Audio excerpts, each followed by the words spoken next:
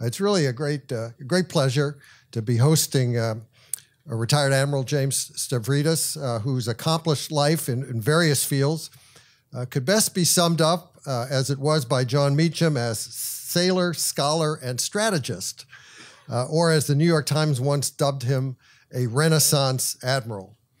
Um, as a sailor, Jim had a truly distinguished career uh, spanning uh, three and a half decades. He was a surface warfare officer who commanded a destroyer, a destroyer squadron, and an aircraft carrier battle group. Uh, ashore, he spent stints as executive assistant to the Secretary of the Navy and senior military assistant to the Secretary of Defense, who at that time was Donald Rumsfeld. Uh, he became the first Navy officer to head the U.S. Southern Command, uh, which uh, oversees uh, military operations in Latin America, and later shifted to Europe, where he spent four years as the Supreme Allied Commander at NATO. Uh, in the ranks, Jim developed a reputation as a strategic thinker and innovator, someone able to, to think at times outside the box. Uh, so it really was uh, no surprise that after retiring from the military service in, um, in 2013, uh, he went into academia and became the dean of the Fletcher School of Law and Diplomacy at Tufts University. Guess, guess, guess some of you have heard of it. Um, where, where he, uh, Jim earned a PhD there in international relations uh, back in the 1980s. Uh, he left Tufts last year and uh, to embark on yet a third uh, career in, in, private equity. He's, uh, he's an advisor to the Carlyle Group and also to the international consulting firm McLarty Associates. And in his spare time, serves as, a, as an analyst, as the, the chief international analyst for NBC News. Now, along the way, uh, Jim's written, uh, written uh, himself five books and co-authored four others. Among his previous works uh, is the, the Accidental Admiral, which came out a, a year after he retired from the military and looked back at some of his NATO challenges and offered insights on leadership and the future of global security. Uh, and his, um, his book in, um, that was published two years ago, two years ago Sea Power, uh, uh, which we also have copies of towards the front of the store, is the history of the seas, written as a sort of tour of the world's uh, major bodies of water with uh, with uh, up to date discussion of of their strategic importance. his latest work, which he's here to talk about this evening, is Sailing True North. It's a bit like Sea Power in that it's also a journey across time, but instead of oceans and geography, Jim delves into individuals and biography. Uh, he singles out 10 admirals uh, who together span uh, more than 2,500 years of history from ancient Greece to the 21st century. Uh, his main aim in, in profiling them, he says, is to get at the most essential qualities of character. And motivating him, as he explains in the preface to the book, was a growing sense that these days we're witnessing the slow death of character as a result of a turning away. Yeah, everybody starts snickering at this point. As a result of turning away from the classic values of honesty, commitment, resilience, accountability, and moderation. And we, we can all think of examples there. Um, anyway, I think we can, we can all agree with that. So, ladies and gentlemen, please join me with welcoming uh, James Stavridis. Thank you. Um, thank you and absolutely incredibly kind introduction. And um, I've known Brad for many, many years, uh, distinguished journalist, and uh, what a trade up to be running a bookstore. I think that's fabulous, Brad. Um, thank you for that very kind introduction. Uh, I will say, people hear that and then they actually see me, you know, Supreme Allied Commander and all that, and they sort of have two reactions. One is, man, I thought you'd be taller than you appear to be. And the other one is they say, you know, Stavridis, if you're really that cool, why were you not a Navy fighter pilot? Because, like, like my friend Carlos, I just drove ships. Um, and you know, truth be told, I desperately wanted to be a Navy fighter pilot, but I had a traumatic experience when I was a young boy that made aviation really uh, difficult for me.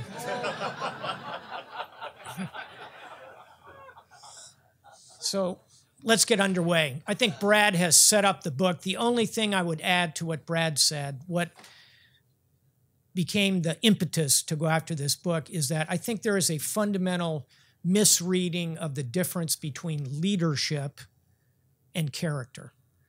Leadership is the influence we exert over others. It's an important function in all of our lives. Character is that how we lead ourselves. It's that inner voyage that, in the end, I would argue, is more important.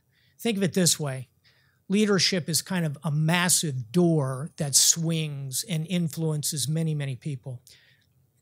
But that door swings on a very small hinge the human heart, the character at the center of it. So, as Brad said, I wanted to write a book less about leadership. We are awash in books on leadership, and we are underweight in books on character, hence, Sailing True North. So, let's meet some admirals. I'm going to walk you through some of the characters in the book very swiftly. We're going to cover, as was said, about 2,500 years of history. Uh, and then I'm going to draw a couple of lessons and thoughts from them, and then we'll just open it up for a conversation. Let's go back 2,500 years ago to Themistocles of Athens. He is a charismatic leader. His greatest attribute is his ability from within himself to inspire others. And he needs all that inspiration because Athens is facing an existential threat. The Persian Empire is knocking at the door. They have already attempted to overrun Greece several times, and now they have brought a massive fleet off the coast of Athens, and they are prepared to once and for all destroy this pesky democracy. Themistocles is outnumbered one to five. One of his triremes, these massive rowed ships, for every one he has, the Persians have five. But he inspires his crews by gathering the captains and saying to them, Tomorrow, when we go into battle, you are all free men. Whereas the rowers on those Persian ships were all slaves. Themistocles says, Tomorrow you must row for your family. Tomorrow you must row for your city. Tomorrow you must row for freedom. The next day, epic victory in the Bay of Salamis. The power of persuasion. And yet, character. There's an arrogance about Themistocles. And in not too many years after this heroic, epic battle where he saves his polis, his city, Athens, he is ultimately rejected by the Athenians and ends up on the right side in the graphic working for Artaxerxes, the Persian emperor. So, this is someone of enormous charisma who has an inner flaw of arrogance. Let's jump to an admiral on the other side of the world. This is a Chinese admiral who, in 1405, his name is Zheng He, if you want to give it the Mandarin pronunciation. Generally, we anglicize it to Zheng He. I'll stay with that. And I want to make a point about his voyages. 1405, Zheng He is put in charge of massive fleets that are moving out for China. China builds huge ships. You see upper right here, you see that massive wooden sailing ship. It's 500 feet long, has a crew of 450. See that tiny little ship right next to it? That represents the flagship of Christopher Columbus, the Santa Maria. Columbus in 1492, almost a century later, is sailing this tiny little vessel. Zheng He and his voyages really span the known world. Look at this graphic. These are the voyages of Zheng He in the early 1400s, long before Christopher Columbus finally gets that little ship and discovers America. And those of you who are enmeshed in the geopolitics of the day will recognize these voyages, right? This is one belt, one road. This is the Chinese mercantile geoeconomic empire unfolding. Yet it really began almost 500 years ago under Zheng He. He was, as a young boy, captured, castrated, which was the style of the day, and as a eunuch, rose up through the ranks to become the greatest admiral in Chinese history. That's resilience. Starts life as a castrated slave, finishes voyaging the world, leading great fleets. It's a story of resilience. Let's jump back to Europe, and here we have one of our less admirable admirals. This is Sir Francis Drake. And Drake has many positive qualities, particularly decisiveness, physical courage, but he is also deeply flawed. He is someone who uses murder, torture, rape. He's a slaveholder. He is a, a very mixed bag for the Brits who award him a letter of marque. He's a privateer going through the Caribbean.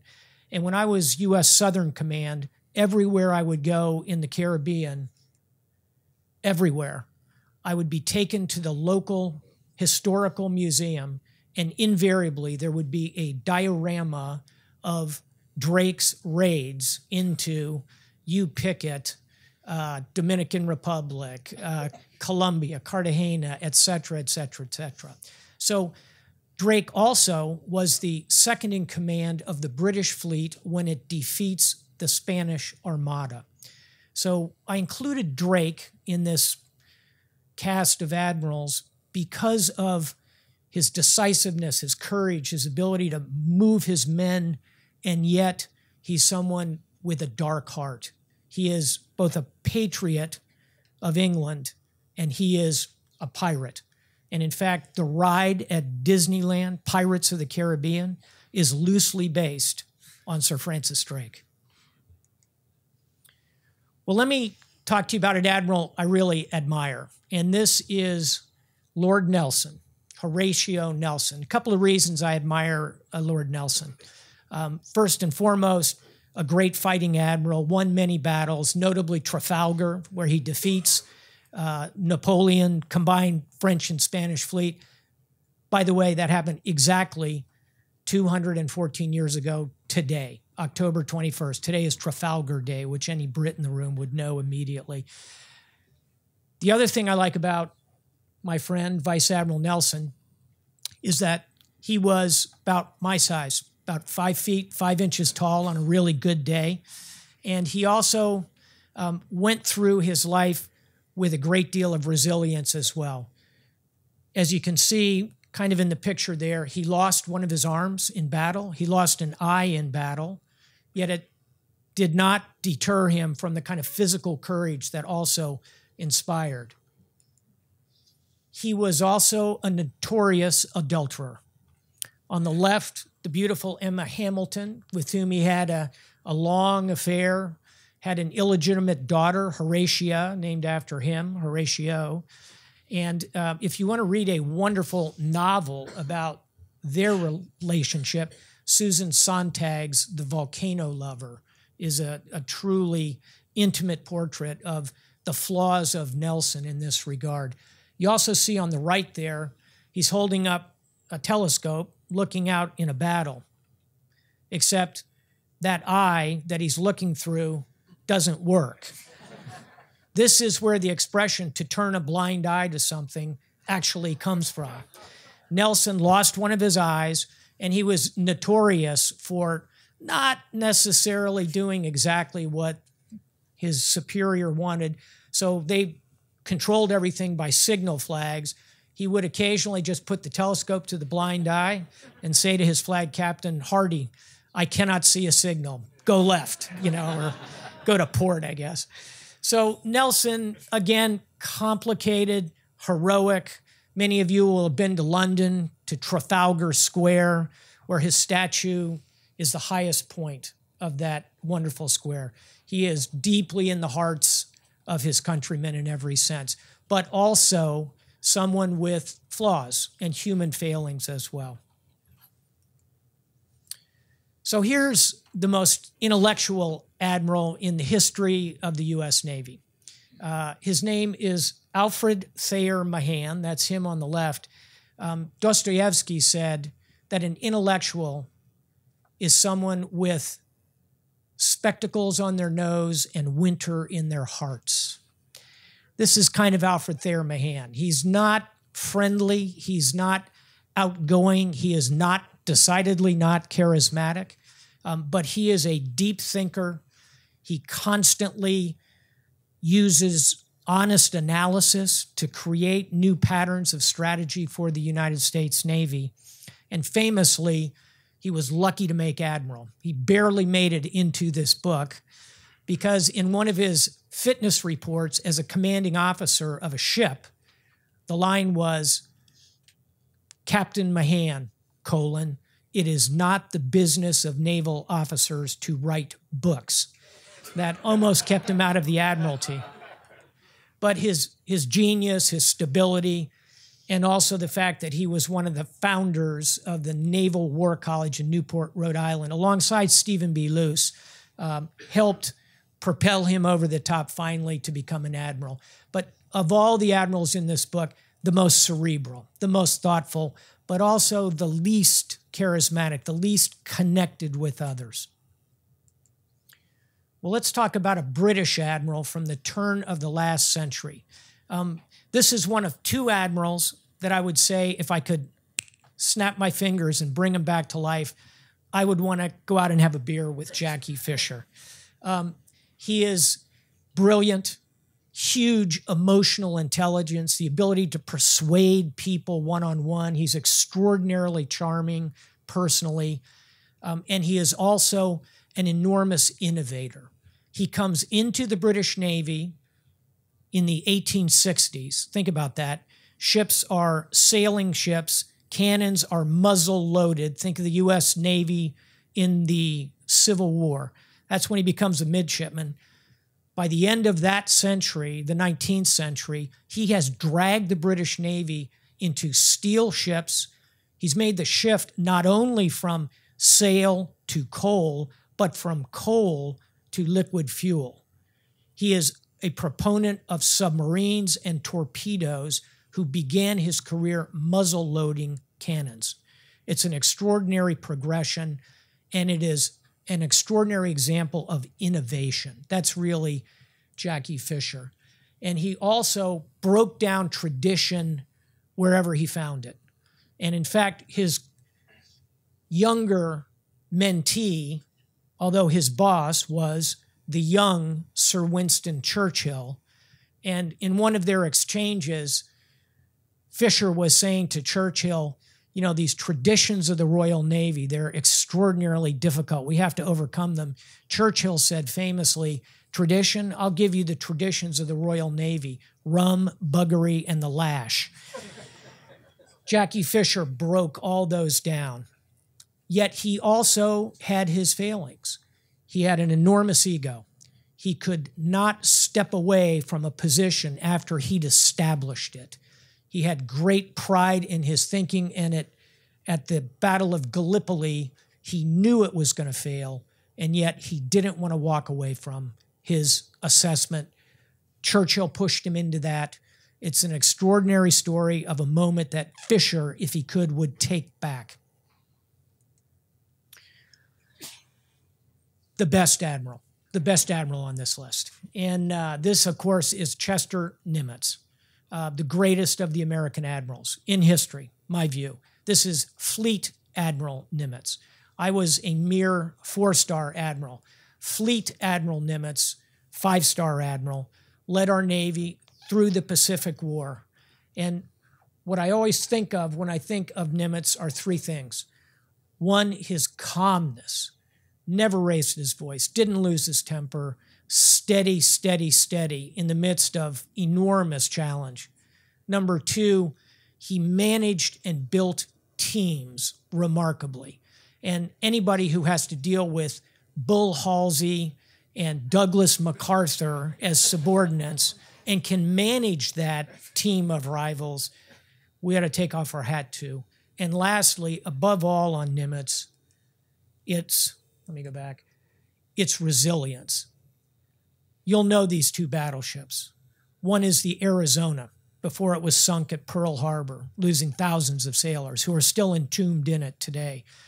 If you are ever privileged to go to Pearl Harbor, go and see the Arizona. Next to it, you see that other ship. That's Missouri, the battleship Missouri. These are the bookends of the Second World War. Arizona sunk at Pearl Harbor, Japanese surrender signed on Missouri. Here's the point. When Nimitz was given command of the fleet, it was literally smoking in the harbor. The ships were on the bottom, the, the battleships. The carriers were out dodging the Japanese. So Chester Nimitz took command of the fleet, not on a big, beautiful battleship in his crisp choker whites. He took command of the U.S. Pacific Fleet in a set of rumpled khakis on the deck of a diesel submarine, because that's what was available. And he squared his shoulders, he built his team, and slowly, surely, he won the war in the Pacific. Resilience, brilliant mind, self control. Admiral Nimitz. Well, now I'm going to introduce you to a handful of admirals that I knew personally. Uh, I, w- I am old enough to have met Admiral Zumwalt, who was the great innovator of the modern Navy. He takes he becomes the chief of naval operations during the Vietnam War. He s- jumps over a huge number of more senior more senior admirals to become the chief of naval operations and immediately begins a whole series of innovations, everything from managing our Vietnamese inshore activities in that war to working on the frankly broken race relations of the U.S. Navy in this period. He is the first admiral to really listen to the deck plates to try and make fundamental social change in a Navy that badly needs it. I also knew Admiral Hyman Rickover, notoriously difficult admiral, someone with a real temper, but also someone who dragged the nuclear navy into existence. The reason we have nuclear submarines, the reasons we have nuclear aircraft carriers is right here. Hyman Rickover, famously harsh on people, famously grinding people into detail. He said on the right, the devil is in the details, and so is salvation.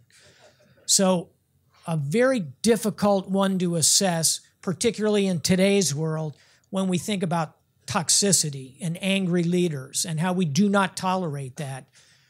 Yet, Rickover achieved enormous results and created a real following in many of the officers who spent time around him. Frankly, I was just scared of him. But what he contributed to the Navy cannot be denied, and he was a flag officer longer than any other admiral in the history of the United States.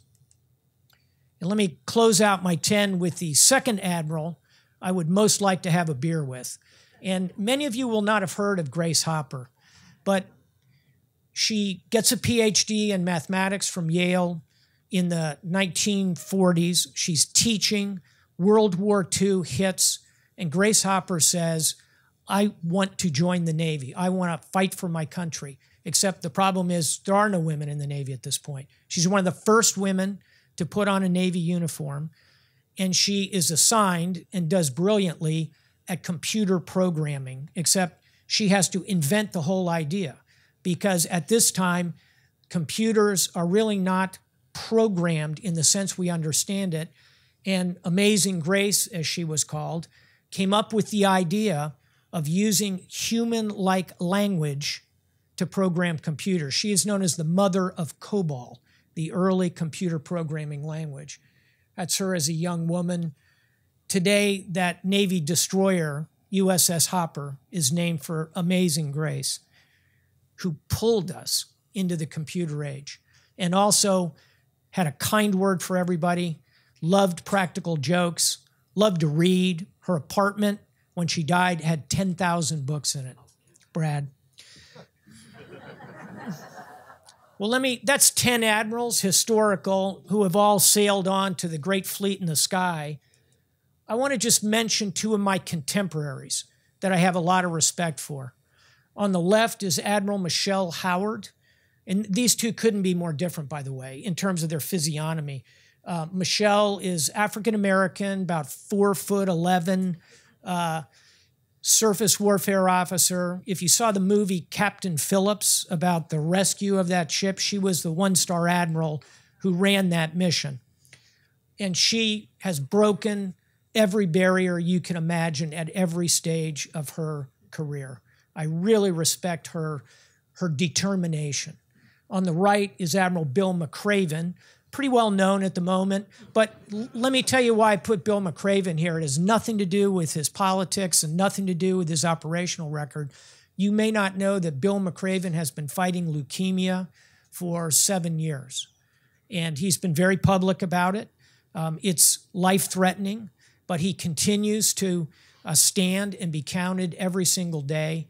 And uh, I'll never forget being with him in the White House. Were a couple of four star admirals and I was asking him about, you know, his thoughts about you're going to stay on active duty or get out. And he said, told me about this leukemia thing, and and I said, wow, that's I can't imagine that kind of challenge in my life, given all that you're doing now. And he said, yeah, it's it's just another mission, and uh, that's Bill McRaven. So, two admirals, I put him here for resilience and also just to bring it into the current day. So right about now, you got to say, okay, Admiral, great. Uh, met some admirals. I knew a couple of them, but now I know some more admirals. But what do you think?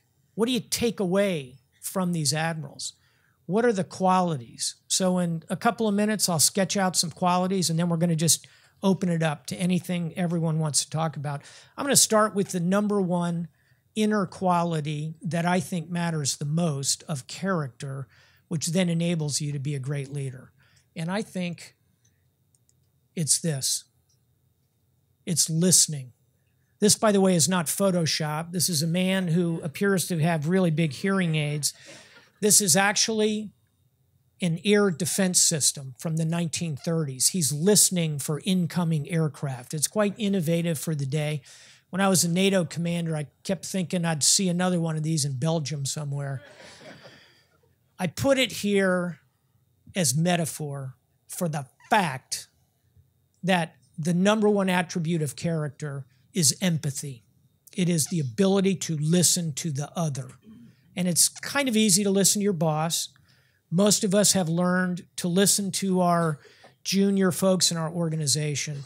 It's hard sometimes to listen to your peers, but they can tell you more and share more with you honestly than anybody else.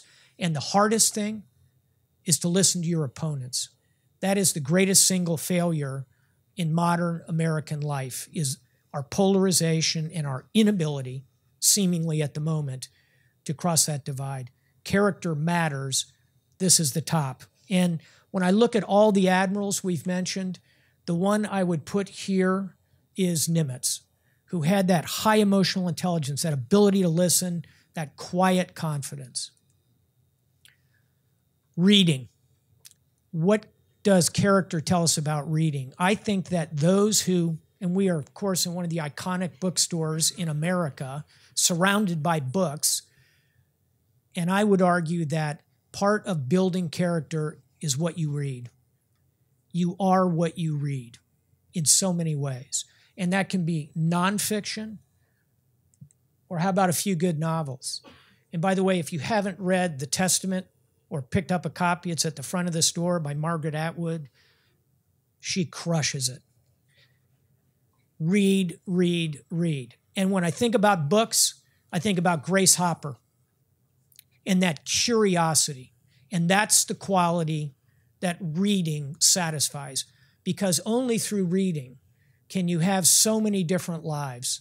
When you pick up a book, you walk back in time or you walk into someone else's life it's a remarkable gift that you hold in your hand. Grace Hopper, 10,000 books. But why? Because of curiosity. That's the character quality that shines through. How about our values? Our values. democracy, liberty, freedom of speech, freedom of assembly, gender equality, racial equality. Look, we execute them imperfectly, but they are the right values. And when I think about value driven admirals, I think about Zumwalt, who wanted desperately to put more just values in our Navy. And I'll illustrate it by pointing something out about this photograph. This was a gift to me when I was the executive assistant to the Secretary of the Navy. And someone gave it to me and said, Admiral, look at this beautiful picture of a destroyer crew, 1949. And I started looking at it very closely, and I encourage you to do so as well. The front row, the officers, is quite complete. And behind them, two rows back, are all the sailors. Look at that second row where the chief petty officers are. What's wrong with it? Three are missing. I started looking very carefully, trying to figure out what happened. And I finally found the three missing chief petty officers. There are three African Americans. They're standing all the way at the back of the formation. That's my Navy in 1949. I put it here because character is that inner voice that tells you look hard at things because something that looks terrific can have some flaws. And secondly, it's that inner voice that says, ask yourself every day, what am I doing now that in 50 years is going to look oh so wrong? Character, Zumwalt, just qualities.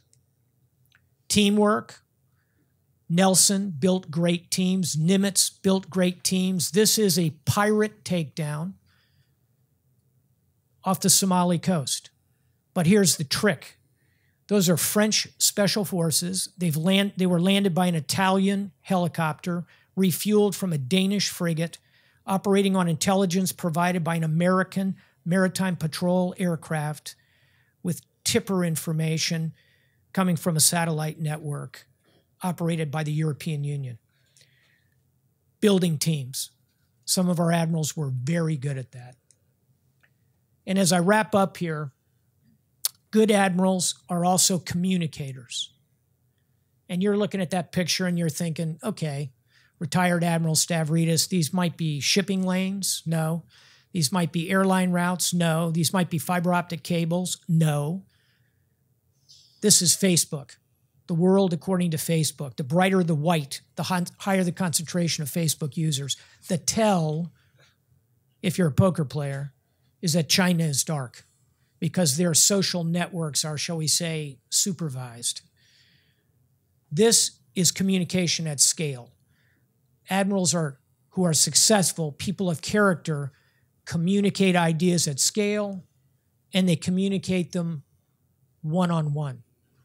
This is a photograph of me as Supreme Allied Commander with my opposite number, the Supreme Commander of the Russian Armed Forces, General Nikolai Makarov. I always liked General Makarov. As you can see, he's a man of normal height. We're actually having a, a, moment here about submarines in the Arctic. It's an important meeting. When it was done, my boss called me, Secretary Gates, Bob Gates, best boss ever, called me and said, Stavridis, how did the meeting go with Makarov? I said, Sir, it was outstanding. We saw everything eye to eye. the point is, you got to move your ideas, communicate, that's a character driven exercise, both at scale and you got to know that it matters personally. Last quality I want to leave you with, and it's a simple one it's honesty, it's truthfulness. This is the battleship Maine, USS Maine. She was sunk on February 15, 1898, in Havana Harbor. You may remember the story. The Maine blows up we, the United States, immediately announced that this is a result of terrorists, Spanish terrorists, and we go to war. Remember the Maine is what starts the Spanish American War. Except 50 years later, the US Navy went down and salvaged this thing, and we found out it sank as a result of an internal explosion. We did not follow the truth initially. And I'll tell you this everywhere I've been, every office I've been in, I had a picture of the Maine, and there's one in my office today. And I keep that picture there for two reasons. One is to remind myself not to rush into judgment. And secondly, remember that your ship can blow up underneath you at any moment. Have a plan B. Well, that's our story. And uh, I have a small suggestion for you if you want to internalize character. And it's as follows Ask yourself tonight or some quiet evening, get out a piece of paper and write down the names of some people you admire. Who are your heroes? Very few people ask themselves that question. Who do you really admire? Someone in your family, someone in history, a current figure. Who do you really admire? Write down five or six names of people you really admire. These are some folks I really admire. Next to their names, write down why. Why do you admire them? I admire Juan Manuel Santos, the president of Colombia, Nobel Prize winner, for the political courage he showed to pull Colombia out of a war. I admire Condi Rice for breaking every barrier anybody ever put in front of her. I admire George Marshall, upper right, for, like Nimitz, his quiet self confidence. Middle bottom is my dad. I admire him because he was a great father. Write down why you admire. And here's the hard part it's the third column. Ask yourself, how am I doing? Am I as good a father as my dad? I'm not. I work at it hard. Am I as courageous as Juan Manuel Santos? Am I as determined as Condi Rice? Am I as quietly self confident as George Marshall? I got work to do. Maybe all of us do. That exercise is a pretty good one. All this can be hard. I'm Greek American. I'm allowed to put Sisyphus up here. Character is that boulder that will roll down. Sometimes the seas are going to be rough. Some days the seas will be very calm. The trick is maintaining your character no matter what the sea around you is doing. Last image, and I love this image. This was a very uh, well known photograph four or five years ago. These are Somali migrants. They're standing on a beach, and prosaically, they're holding up their cell phones trying to get a better signal, right? We've all done that. Newsflash doesn't work. Prosaically, that's what's happening. What's happening metaphorically in this picture? They're reaching for the light. They want to connect. They want to be part of this world moving on. So I'm going to close because this is a photograph of hope. The greatest inner character of all is that ability to be optimistic, to hope. I'm going to close with a quote by Napoleon because short people have to stick together at all times. Napoleon said, A leader is a dealer in hope. A leader is a dealer in hope. That is the kind of leader you want to be. You can be that leader on this inner voyage of character. Thank you very much. Pleasure to be with you. Thank you. Thank you. Thank you. Thank you. Great. A couple of microphones here. Yeah. We've got a, a young man here who's going to ask a question. Maybe mom can help get the mic down. Okay. Um, uh, come on. You're good. Is this working? Yes. No, just ask the question. Um, uh, well, how is the Navy these days? Okay, the question is how's the Navy these days?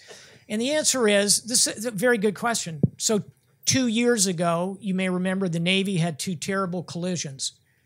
We had two of our beautiful Arleigh Burke destroyers collide with civilian ships in the Pacific, our vaunted Seventh Fleet. We lost 17 sailors in those two collisions, died because of these collisions. The Navy has been re examining itself, particularly the surface line portion that I am from. We have exercised, I think, a great deal of character, starting with accountability. We fired the four star admiral, we fired the three star, we fired the two star, we fired the one star, we fired the commodore, we fired both ship captains, both ship executive officers, both ship senior enlisted. We cleared out a lot of problems, had real accountability, and we've been rebuilding. The Navy is much stronger than it was two years ago, and that's a story of organizational resilience. Good to see you, sir. How's it going? Question, and then and then we'll go over here. I uh, had the pleasure of listening to your uh, podcast uh, earlier, and uh, Thank you. wanted to talk about the role of character in building teams. And one if you could uh, tell what happened on the USS Barry and the Suez Canal. Painfully, You had a team help you out. I can. Um, when I was uh, in my mid 30s, I had my first command. It was an Arleigh Burke destroyer, much like the ones I've mentioned here. Uh, 500 feet long, crew of 350. I was very proud of that ship. Uh, we were forward deployed. I was kind of exhausted. We were about to go through the Suez Canal. We had an Egyptian pilot who was supposed to guide us through the canal. As you come north to south in the Suez Canal, you have to stop halfway and you park your ship in a thing called the Great Bitter Lake. And you, so we pulled over, and our pilot was telling us, "Go there, go there, Captain, go there." And my navigate, and I was tired, exhausted, just like whatever the pilot says, just drive it over there. My navigator was uh, 26 years old. His name was Rob Chadwick. Uh, he and his team were navigating, and they said, Captain, don't go there. The ship's going to run aground. The pilot said, I'm the Egyptian pilot. I know exactly these waters. I do this every single day. Tell your whippersnapper lieutenant to sit down and shut up. I'll tell you where to drive the ship. I got to say, I was a little punchy, but I thought, okay, look, the pilot, local knowledge, my green lieutenant over here. I said, just keep going. Lieutenant Rob Chadwick, those of you in the Navy will understand this. He's a lieutenant. He says, This is the navigator. I have the con. All engines back one third. I mean, it's, it's an act of mutiny, it's an act of uh, complete insubordination. Um, the pilot blew up. We did back down the ship. To sort of sort it out, I said, drop the anchor, because you're always ready in these situations, drop the anchor. So we're backing down, we're dropping the anchor. And we then put a boat in the water, went and measured the water, and we would have gone aground if we'd continued on. So Rob Chadwick, Lieutenant Rob Chadwick, saved my career. to, to complete the story, some years later, I'm a one star, and Rob Chadwick is now a commander in the Pentagon, September 11th, 2001. And I've been mentoring him, and I called him that morning. He was down in the Navy Intelligence Center, and I called him and said, Hey, Rob, why don't you come up for a cup of coffee this morning? He came up to my office, airplane hit just 150 feet away from the two of us.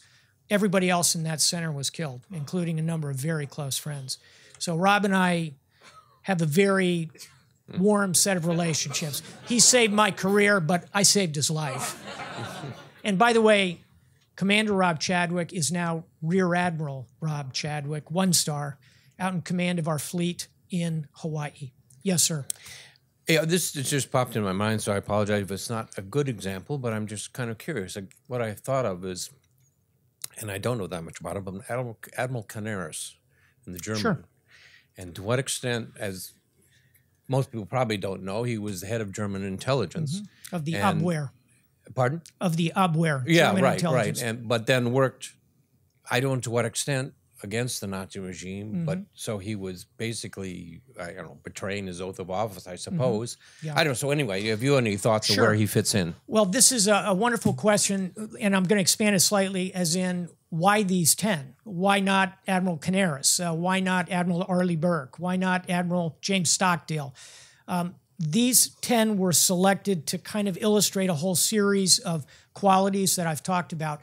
In terms of Admiral Canaris specifically, um, he, as did several German uh, very senior officers, um, actively work against the Nazi regime when they really realized A, the totality of what was occurring, and B, that Germany was going to lose the war.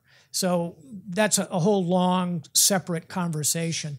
But um, I think anytime you face one of those tough choices, and I think this really is your point, you have to really look inside at your character. I think Canaris did that. He paid a high price for it. Yes, sir. Thank you very much for your presentation, Admiral. Um, I'm Gordon Grant. I'm a, uh economist and former Wall Streeter. I just spent three years living in the Islamic Republic of Iran. For a little context, and that's an area you know very well. Thank you for your Bloomberg pieces about that. Sure. I wanted to touch upon your points about Themistocles um, and what happened with the Persians and, and ask your insights about what's going on today with the legacy of the Persians, which is Iran. Yeah, nice point. You've said very well um, that this admiral was an exemplar of conviction and flexibility and defeated the Persians, who had a much superior force, by forcing them into the straits, where their um, you Through a know, smaller deception. fleets Mhm. could defeat Correct. the larger uh, the larger Persians. And you also made a point about empathy Mm-hmm. and connecting with people, even like Admiral Makarov, who could be said to be a leader of an enemy state. Mm-hmm. Today, is America failing to contain Iran because it is lacking flexibility mm-hmm. or conviction or mm-hmm. empathy? And, and are its leaders lacking in these charismatic traits, like mm-hmm. General Soleimani might be said to have, or Rear Admiral Fadavi. What is your impression from having squared off against the Iranians and having been in the Gulf? Sure. First of all, um, when I speak about Iran, I often show a map of the Middle East from roughly uh, Pakistan to the shores of the Mediterranean. And I show a massive green area, and I, I'll show it to an audience, and I'll say, What do you think this is? And they'll say, Oh, well, this is, if it's a geopolitically oriented audience, I'll say, Well, that's kind of where the Iranians are pushing. Nope, that's a map of the Persian Empire 2,500 years ago, when the Persians, today's Iranians, controlled probably 40% of the world's population. Um, so, first and foremost, we misunderstand Iran in the most fundamental context, which is to say, we think of them as a kind of annoying mid sized power in the Middle East. They don't see themselves that way. You know that. You live there. They see themselves as inheritors of an imperial tradition and also the carriers of Shia uh, Islam. So we need to understand that. And this is a good example of in any situation, as I said earlier, the hardest voice to listen to is the other, is your opponent. So that's a slightly long way of saying we misread the Iranians. We don't spend enough time understanding their history. We don't spend enough time listening to them. Having said that, um, Iranian behavior today, my view, must be confronted. And I think it's I think a good philosophy here with Iran is confront where you must, but cooperate where you can. And I think that is a, a very applicable strategy. And I'll close with the thought that what we have yet to see, uh, frankly, out of either the Obama administration or the Trump administration, is a coherent long-term strategy. It's it's our approach is too tactical. There is a tactical need, but we need to step back, understand the history, look at the challenges, and build a more coherent strategic approach. Thanks. Yes, sir. Back to China. Sure. Are, are we up to the challenge? I love a good short question. Um, so, another book that I, I recommend is by a friend of mine, a Harvard professor named Graham Allison. It's called Destined for War. Hi, Jerry. And it is a book about the Thucydides trap this idea that in human history, when an established power is challenged by a rising power, war often ensues. Graham looks at 18 cases of this. In 12 of them, a world war ensues. This happened last about 100 years ago. Established state, United Kingdom, rising power, Kaiser's Germany. We all know how that turned out. So, with that as backdrop, um, I think we are up to the challenge, and it relates to the conversation I just had with the gentleman about Iran. We need a strategic approach. So here, here would be my strategy for dealing with China. I would say we need a strong and capable military, particularly a maritime one, to challenge China and their claims in the South China Sea. We need an economic strategy that recognizes we're going to have to bend that relationship a little bit. Uh, we're going to have to deal with these trade imbalances. We're going to have to deal with intellectual property theft, but we want to bend it without breaking it because there are two economic nuclear weapons here. One is we could shut our markets to China. That would uh, be the effect of a nuclear detonation in their economy. They have an enormous amount of American debt they hold. That could be quite problematic for us as well. We don't want to get to that point. So we need an economic negotiation. Here, I think the Trump administration is doing a reasonable job of trying to bend that relationship without breaking it. And then lastly, we need a political strategy that particularly thinks about how we deal with Taiwan, how we deal with every um, engagement we face, particularly what we see in Hong Kong, what we see of Chinese activity, the One Belt, One Road. How do we counter that politically as well as economically? So we need to build a strategy for dealing with China. Can we do that? I think so. The battlefields will be maritime, South China Sea, cyber and artificial intelligence, and culturally along this One Belt, One Road. This is one of the great stories of the 21st century. I'm cautiously optimistic we're up to the challenge. Captain Jerry Hendrix. Good evening, Admiral Staff. Um, so I was tempted to do the one question in 26 parts, but I'm going to boil it down because uh, four of the officers that you highlight tonight, uh, and this goes to character building Sure. and our acceptance of mistakes, but at least four uh, had, uh, shall we say, some collisions with fate earlier in their career. Yeah. Admirals Nimitz, Mahan, even Admiral Zumwalt took Yep. out a peer. Yep. Um, and there was a reason that Rickover become an engineering duty officer as opposed to a line officer. So, Right. how how do you address sort of the acceptance of failure as a character building practice? I mean, Yeah. Nimitz should have been done after he uh, grounded his destroyer. he grounded that destroyer as a 20 something year old. Um, and I'll answer the question because you posed it so succinctly. I'm going to answer it succinctly with a quote from General Salak Shalikashvili, former chairman of the Joint Chiefs of Staff, uh, who is himself a remarkable figure in so many different ways, a deep individual of character, born in Europe, spoke Polish, his native, his mother tongue, Russian, uh, extraordinary figure. Um, I asked General Shali uh, that same question. I was working on a speech for General Shali. I was a, a young commander, and and I asked him, "When can you forgive a mistake?" And he said, and I'm going to use military rank here, but I think you'll all get this. He said, "We can forgive a captain a captain's mistake. We can forgive a general a general's mistake, but we cannot forgive a general a captain's mistake, right? I think that's pretty accurate. And and the short answer to that is uh, yes, we can forgive. And I'll give you one practical example from my career. Uh, when I was the captain of the aforementioned Barry, uh, which almost ran aground, but my navigator sailed, saved me. Uh, later on in that tour, we we had a string of everything going great, and we were the top ship on the waterfront. We actually won this award, the Battenberg Cup, as the top ship in the Atlantic Fleet. And young uh, Captain Stavridis started to feel like, okay, yeah, I got this. You know, things are going great. And we went out for a big engineering inspection, and we got out. This was coming out of uh, our home port, and we got out of Norfolk. We were just out there in the VACAPES, as we call them, the waters off the Virginia coast, and the whole ship ground to a halt. I won't drag you through all the problems. To say the least, we failed the engineering inspection. Here's the really bad part we were so broken down, they towed us back into port. Yeah. And they towed us right by all the other ships, obviously. And so I was like crouching down in my bridge chair trying to be invisible. And I literally went home that night and I said to my wife, Laura, it's all over. Tomorrow the Commodore is going to come down, he's going to fire me, and then I'm going to, you know, I'm going to become a teacher or an academic or we're going to figure something else out. So we had a big cry about it. And then uh, the next morning I went down there prepared to get fired. And, and really three things happened, Mike, and this to your question. The Commodore came down and he said, you know, Stavridis, bad, really bad day.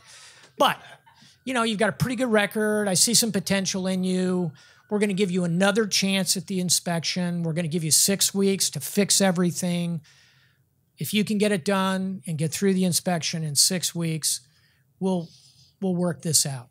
So my boss forgave. Secondly, my crew, and I thought I was going to spend the day walking around pumping them up. My crew kept coming up to me and saying, It's okay, Captain. We got this. And they dove into it and fixed, I won't go into it all, but in my crew. But the third thing that happened was those other captains on the waterfront who had watched us get towed in after watching us win all these awards, many of them called me up and said, Jim, really bad. what can we do to help? Do you need do you need some of our sailors to come and help? Do you need parts? What do you need? And I, I mention all that in the context of your question, the capacity for forgiveness when you when you see potential. And secondly, your peers. I think I mentioned that earlier. Your peers are often the ones who will be the most honest with you. And so, what was a very dark moment in my career, actually, I learned a lot from it. And that's part of the voyage of character. It's been a pleasure being with all of you. And I have, if, wait, wait, wait, wait, wait, wait. I have one last, I have one last thought. Because one thing all of these admirals had in common was service. They wanted to serve their countries. And these days, a lot of people come up to me and say, you know, Admiral, thank you for your service. And I appreciate that deeply when people say that. Here's my point there are so many ways to serve this country. Certainly, our military folks, but how about our CIA officers? How about our diplomats? How about our firemen? How about our police officers? How about our Peace Corps volunteers? How about Teach for America? How about Volunteer for America? How about school teachers in rural South Carolina teaching packed classrooms for $37,000 a year? You think they're serving the country? I do. How about nurses at inner city clinics working essentially minimum wage? There are so many ways to serve this country. So, as I close tonight, many of you have said to me, Thank you for your service. To all of you who are serving the country in some way, I say thank you for your service. And please encourage others to serve in whatever way they choose, because service is the least partisan thing we can do. It may be our salvation going forward if we can find ways to serve together. Thank you for your service. Thank you very much. Pleasure to be with you. Thank you.